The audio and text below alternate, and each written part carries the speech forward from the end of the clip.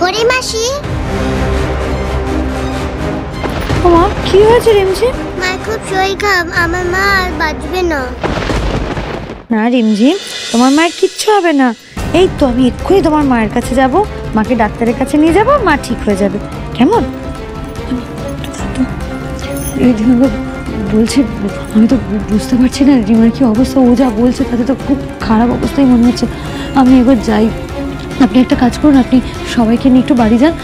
আমি একটু রিমার সাথে দেখা করে আসি। আর আমার কয়েকটা জিনিসও নেওয়ার আছে। খুড়ি বলছিলাম কি আমি এখন যাব না আমি বরং এখানে থেকে যাই। কেন বলতে কিনি আমাকে না কাজে লাগবে। যা শুনছি তাতে রিমাকে যদি এখানে নিয়ে আসতে হয় তারপর একটু সেবা শুশ্রূষা করতে হয় তুই তো একা একা পারবি না মা। হ্যাঁ সেই ভালো। হ্যাঁ। তুমি বরং থাকো আমি একটু রিমার সাথে দেখা করে আসি হ্যাঁ?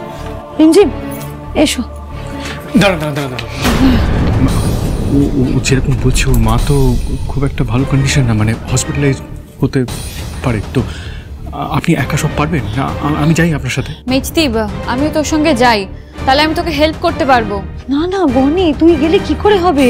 ওই বাড়িতে কত কাজ অতগুলো লোক ডাকতে হবে খাওয়া দাওয়ার ব্যবস্থা আছে ডেকোরেশনের ব্যবস্থা কুনাল তো একা পারবে না বাবু। না না না তুই যা তুই বরং রিধিমান বাবুর সাথে যা বাবাকে নিয়ে যা আমি একটু পরে যাব। এদিকটা আমি সামলে নিচ্ছি চিন্তা করিস না। আহ, রিধিমান বাবু আপনি বরং বাবাকে নিয়ে আর বনিকে নিয়ে যান আমি বরং রিমার সাথে একটু দেখা করে আসি। ও ও আর বলছি আমি দিদির গিফটটার না ব্যবস্থা করে রেখেছি। ওই ওর পছন্দের একটা গয়না আমি ডিজাইন করে বানাতে দিয়ে দিয়েছি। আপনি ওটা একটু তুলে নেবেন একটু সামলে নেবেন হ্যাঁ? আসো রিমঝিম এসো। দেখো দেখিনি ওইটুকু মেয়ে মাকে ছাড়া কিচ্ছু জানে না বোঝে না তার কপালেই কিনা ঠাকুর এত বড় দুর্ভোগ লিখে রাখলেন? মা আমি একে অপরের উপরে ভরসা করে থাকে এখন ওদের আছেই বা কি কে জানে? কেন ওদের কোনো আত্মীয় স্বজন কেউ নেই? অনেকেই আছে জামু কিন্তু সবাই মুখ ফিরিয়ে নিয়েছে। কেউ দেখে না ওদেরকে।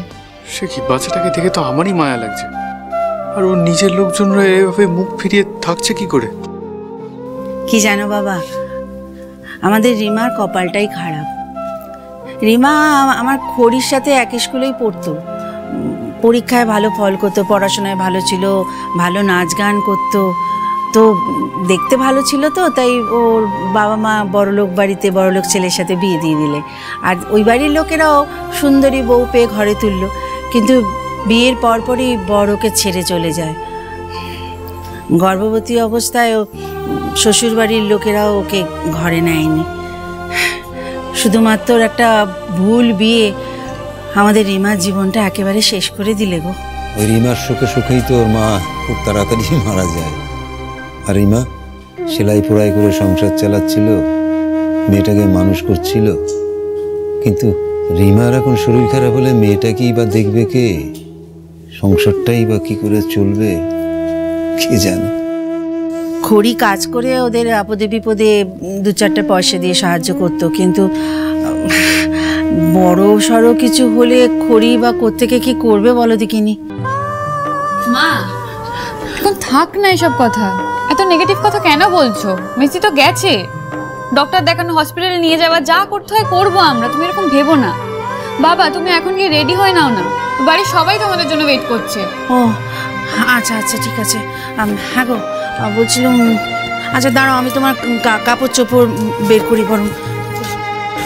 বনি তুমি একটা কাজ করো তুমি বাবার সাথে বাড়ি যাও।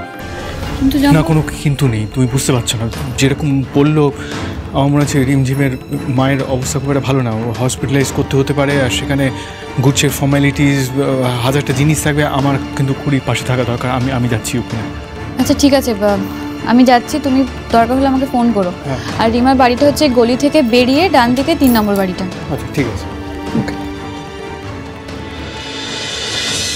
তোর এ কি অবস্থা হয়েছে রিমা? তুই আমাকে কিছু জানাসনি কেন? তুই দাঁড়া, আমি আমি এক্ষুনি একটা ডাক্তার ডাকছি, তোকে হাসপাতালে নিয়ে যাব। তুই চুপ করে শুয়ে থাক, আমি ডাক্তারকে এক্ষুনি অনেকদিন আগে ডাক্তার জবাব দিয়ে যে আমি বেশি দিন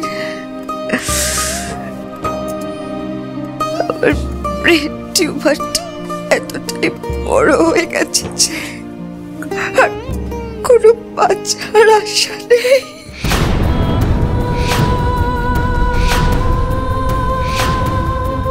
টিউমার আমি আমি তোর সাথে অনেকবার যোগাযোগ করার চেষ্টা করছিলাম।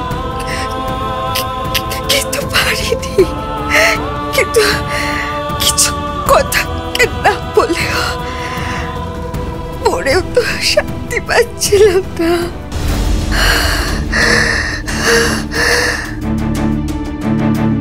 আমার মরে যাওয়ার আগে আমার মেয়েটাকে তোকে দায়িত্ব দিয়ে যাচ্ছিলাম তুই এভাবে কেন বলছিস রিমা? তোর কিচ্ছু হবে না। কিচ্ছু হবে না তোর। রিমঝিম তোর জামা কাপড়টা গুছিয়ে নে মা। আজকে তুই করিবাসের সাথে যাবি। আমি তোমার জামা কাপড় গুছিয়ে নিচ্ছি মা। আমরা দুজনে একসাথে যাব। গরিমাসি তোমাকে ডাক্তার দেখাবে তুমি ভালো হয়ে যাবে। দাঁড়াও আমি এক্ষুনি গুছিয়ে আনছি।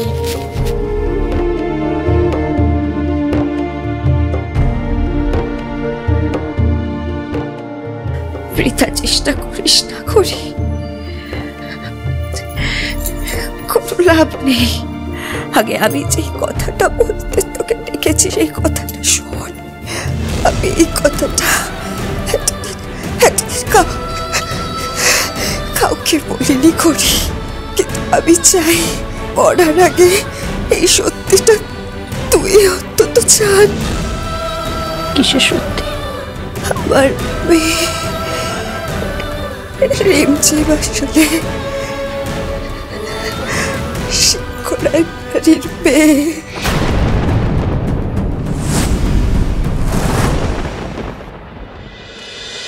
এই ইমান শোন শোন দাঁড়া দাঁড়া। দেখ রাহুল তো অনেকটা সাজিয়ে দিয়ে গেছে হ্যাঁ? বাকি যা কাজ আছে সেগুলো আমরা করে নেব। তোকে একটা দায়িত্ব দিচ্ছি। দুটি বৌদি যেন কোনোভাবে এখানে না আসতে পারে। কিচ্ছু না যেন দেখতে পায় তাহলে সমস্ত সারপ্রাইজ নষ্ট হয়ে যাবে। তুই আমার উপর দায়িত্বটা দিয়েছিস তো? তুই দেখে নে। দুটি বৌদি এখানে তো তুই আজকে এই বাড়ি বাইরেই পা দিতে পারবে না প্রমিস চ্যাটাং চ্যাটাং ডায়লগ না দিয়ে দেখ দেখ কোথায় আছে দেখ। বৌদি কোথায় আছে দেখ। চার নম্বর বার ফোন করছি। বোন এবার তো ফোনটা তোল। প্লিজ প্লিজ ফোনটা তোল প্লিজ ফোনটা তোল। এবারও ফোন রিসিভ করলাম। তার মানে সত্যি সত্যি আমার বার্থডে ভুলে গেছে। আহ! কেউ আমাকে ঠিক করে উইশও করল না আমার বার্থডে জানার পর। শুনছেন কেউ আছেন বাড়িতে? হ্যাঁ শুনব না কেন বলুন? আমার তো কানে কোনো প্রবলেম হয়নি। কি চাই আপনার? এই কেকটা ডেলিভারি করার ছিল। কেক?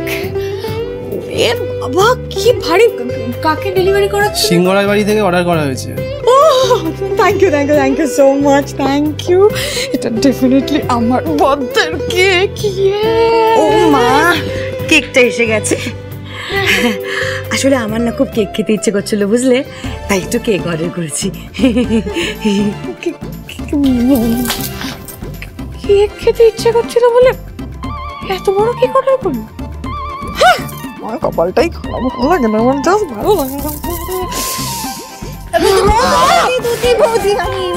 ইমন বুঝতে পেরেছি যে চোখটা ধরে রেখেছে কেন চোখটা ছাড়ো না গার্ডেনে ঘুরে আসি কি গার্ডেনে কেন যাব গার্ডেনে যাব না আমি কেন যাব আরে বাবা এত সুন্দর ওয়েদার এত সুন্দর আমাদের কাছে ফুল আমি কি করব ঘুরতে তো যেতেই পারি আমাকে কেন কি হলো ভালো লাগবে আরে দূর বাগান ওদিকেই বাগান ওদিকে বাগান যাব না কেন? আমার ভেতরে গেলে কি প্রবলেম কিছু ভেতরে হবে কেন? কিন্তু কিছুই হবে না বাগানে গেলে আরে এরকম এরকম কেন হচ্ছে? কি চাই? বাগান আমি ড্রয়িং এ যাচ্ছি না আরে এই বোন হ্যাঁ ভালো লাগছে জায়গা হ্যাঁ। খুব সুন্দর। ইমন! কি করলি?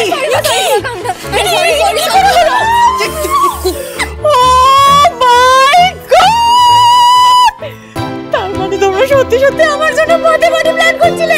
আমি জানতাম জন্য কিছু প্ল্যান করছিলে? এই যে বুঝতে পেরেছি। সকালবেলা তোমরা আমার সাথে অ্যাক্টিং করছিলে তো যে তোমরা কিছুই জানো না। ওকে কেন বকছো? আমার বিশ্বাস ছিল যে আমার এবারে বার্থডেটা খারাপ যাবে না। Love you love you love you so much love you love you love you তোর উপর না ভরসা করাটাই ভুল হয়েছে। একটা সিম্পল কাজ তুই ঠিক করে করতে পারিস না। আরে কি হয়েছে? ও তো চেষ্টা করেছিল কিন্তু আমি তো ট্যালেন্টেড আমি ঠিক ধরে ফেলেছি। তাহলে কি সারপ্রাইজ রইল দুতি? আমরা সকাল থেকে এতটা এফর্ট দিলাম তুমি একটু ধৈর্য ধরতে পারলে না। আরে অসুবিধা নেই তো। সারপ্রাইজ এখনও বাকি আছে। ডেকোরেশনটা শুধু দেখেছি আমি। গিফটগুলো তো আমি জানি না। সবাই কি বলো বলো। তুমি বলো আমি তো জানি তোমরা আমার জন্য সবাই আলাদা আলাদা করে বড় বড় গিফট রেডি করে রেখেছো। জন্য গিফট করেই নিয়ে আসবে। হয়ে গেল। আর কিচ্ছু চাই না আমার। কারণ আমি খুব ভালো করে জানি আমার বোন আমার পছন্দ জানে। সো যা আনবে সেটা বেস্ট হবে। এটা তুই কি বলছিস রিমা? সিংহরায় বাড়ির মেয়ে মানে? কার সন্তান রিমঝিম?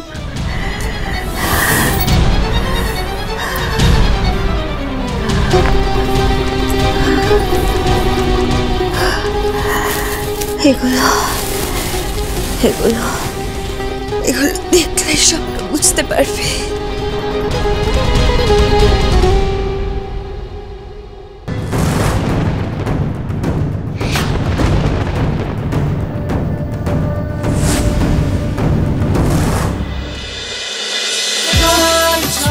গাঁটছড়া, সোম থেকে রবি প্রতিদিন সন্ধ্যে সাতটায়, স্টার জলসায় ও ডিজনি প্লাস হটস্টারে।